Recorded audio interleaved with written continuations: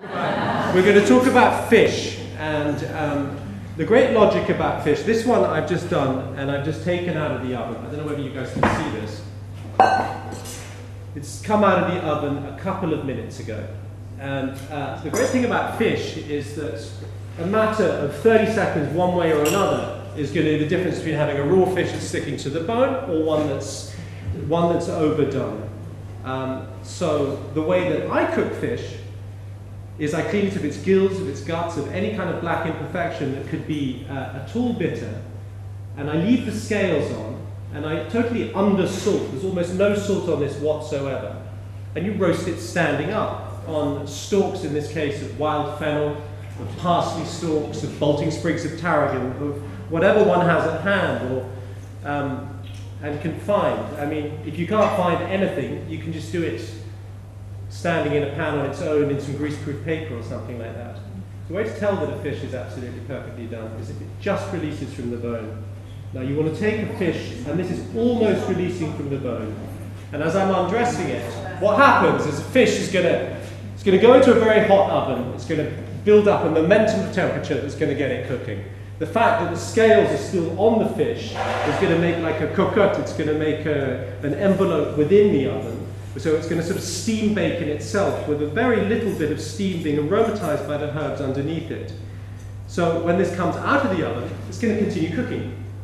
So oftentimes what people do is they'll read a recipe, they'll roast the fish, it will say so many minutes per kilo, they'll take it out and be perfect. By the time they come to it, because the phone's rang or they've gone over there or the mayonnaise is split or whatever they've done, it's overcooked. So you want to take things out undercooked and let them rest to perfection. Here we've got the before. So this is a beautiful sea bass that's just come out of, from Lou yesterday. So you want to take all these guys off, all these sharp chaps. Otherwise you can do yourself such damage, it's untrue.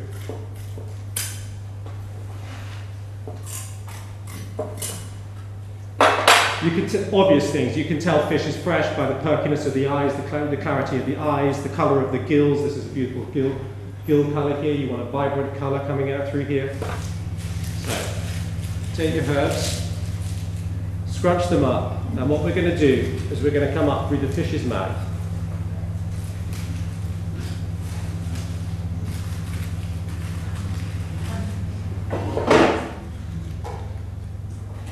In he goes.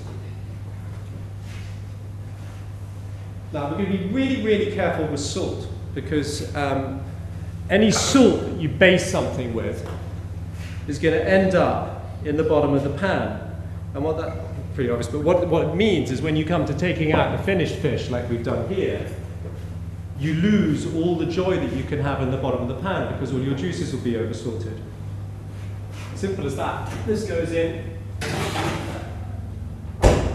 so I very much like to eat fruit at the beginning of the meal or to use it as a, uh, as a savory vegetable garnish, although it's a savory fruit garnish or a, a frisané.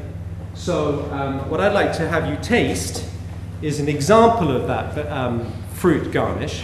White peaches, which come from southwest France, where I live, which were picked on Tuesday afternoon out of the afternoon sun um, of a very hot day, and which have um, sort of perfect right now. Now, fruit, I like to season. So here I'm seasoning with a little fleur de sel, flour of salt, olive oil, plain olive oil.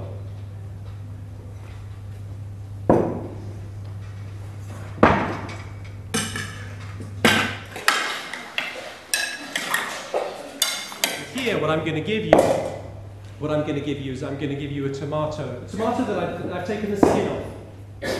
And I don't know, an undressed tomato just gives a completely different texture and gives you a lot of the taste of a tomato um, is in the, the, the, compounds just under the skin. So you're going to get that tink, that acidity, which is going to hit your tongue, and um, you're also going to get that traveling texture. Food is a sensorial journey rather than an intellectual one. So um, it's the imagination and the palate. There are no rules. I think uh, recipes are probably oftentimes rather um, restrictive. People uh, sort of delegate they delegate the logic of a recipe. It's a bit like going to the doctor or the dentist. You put it into his hands. You know, the, the cake didn't work. You know, it's, it's, the, it's the recipe's fault.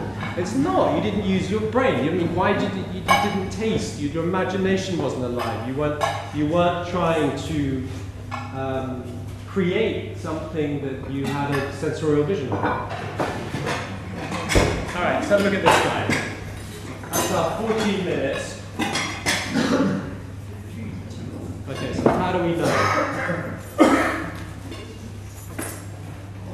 Up you come. Okay, so what you want to do is you just want to put a knife down the back here, down the back of the spine. And that's the trick to know what's going on. This is still just holding. This is probably a good time to take it out of the oven because this is certainly not stopped cooking yet. This is piping hot. It's nearly done. It doesn't need to be in there at 200 for another three minutes, but it's probably quite happy to be here for you know another four or five minutes like this, still dressed.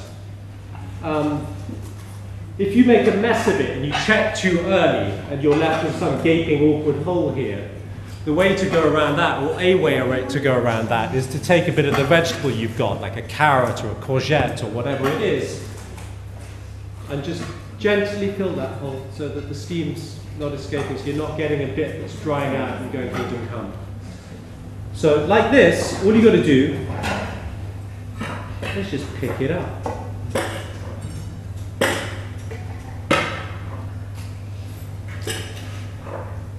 You know, and you can bring this to table. You can, you can. If there's three or four of you, or five or six or whatever, you can bring a fish to this. Like, when you haven't, all you've done is you made it so simple for yourself. It's untrue.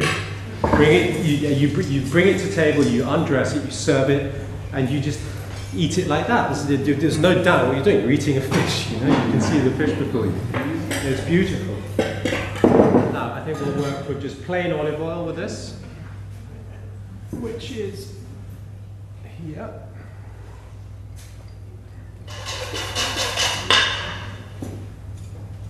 Give a little bit of color to this.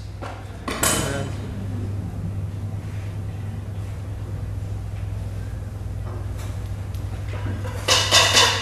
taste.